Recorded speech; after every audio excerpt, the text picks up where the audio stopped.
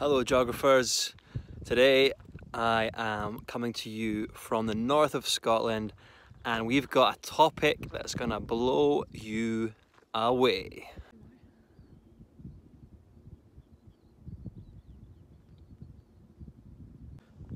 Hello geographers, I'm here today in the north of Scotland and I'm about to show you one of the first solutions to climate change that we're going to look at in class. Okay, can you tell what it is yet? It is slightly behind me. There we go. So look at the size of these bad boys. Massive. And if you look in that direction over there, there are some more that are a little bit more active.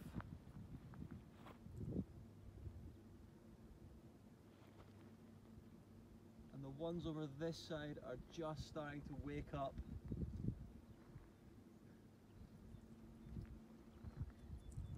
And get a bit more active.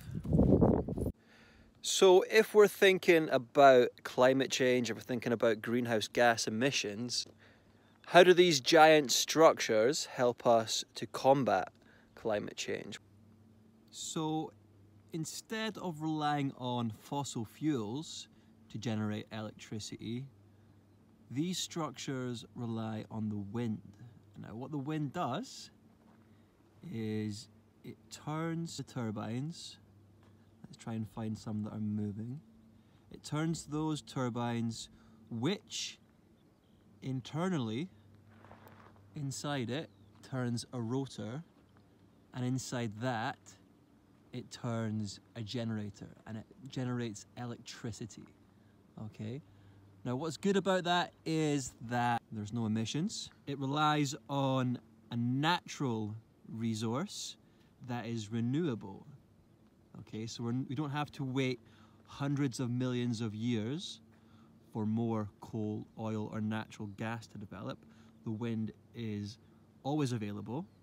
And up here in the north of Scotland, it is readily available as well. There's lots of wind, so they pick these locations where there are, or where there is, a lot of strong wind. Perhaps not right now.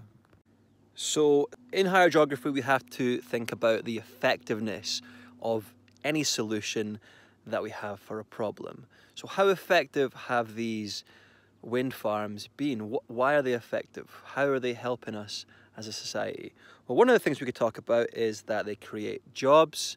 Um, building these structures and maintaining them is gonna create jobs.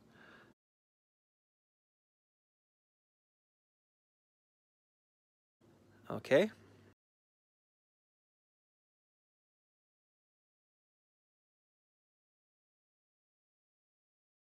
They also run on free energy. Okay, so coal, oil, gas can be quite expensive to extract. Wind is free. Scotland is quickly becoming one of the cleanest countries in the world in terms of the type of energy it uses, and that's because we are using this renewable energy.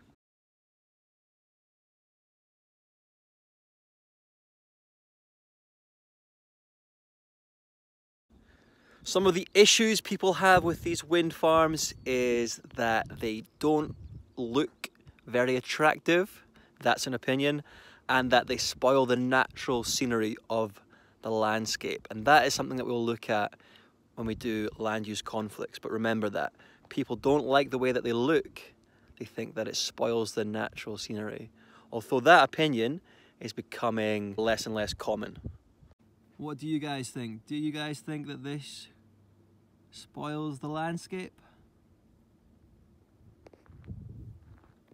I think it looks quite beautiful actually. Some people also think that the wind farms are quite noisy.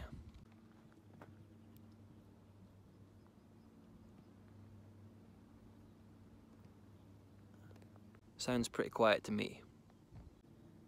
Some environmentalists have also been concerned that the blades of the structure that spin round can actually be quite dangerous to things like birds and bats.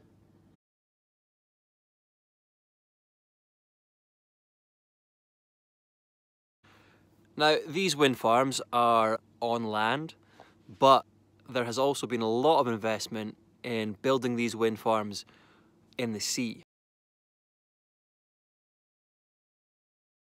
Couple of miles offshore, or even hundreds of miles offshore, we can build these wind farms where they're a bit more out of sight.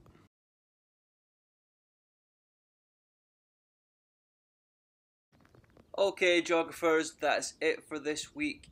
If you liked this video or want to give me some feedback, please feel free to do so.